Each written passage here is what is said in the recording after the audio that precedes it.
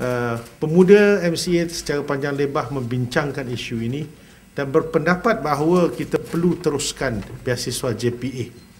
Kerana beasiswa JPA ini dianggap sebagai satu uh, skim yang memberi manfaat kepada semua kaum yang mana pelajar-pelajar kurang kurang upaya, pelajar-pelajar yang uh, apa ni uh, tidak uh, mampu boleh uh, mempunyai satu peluang untuk melanjutkan pengajian di luar negara.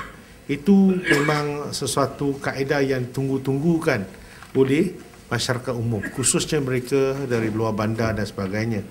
Jadi saya rasa kita harus teruskan dan pemuda MCA sokong supaya kerajaan teruskan pemberian beasiswa tajaan luar negeri dan uh, kita bersetuju kemampuan itu bergantung kepada uh, kedudukan kewangan pada suatu masa dan uh, saya rasa itu berkisarkan kepada sistem pemilihan yang lebih telus dan kita kurangkan pertikaian. Jadi dalam konteks ini kita perlu lakukan ialah kita menyeru kerajaan supaya teruskan beasiswa tajian JPA untuk memberi manfaat kepada semua.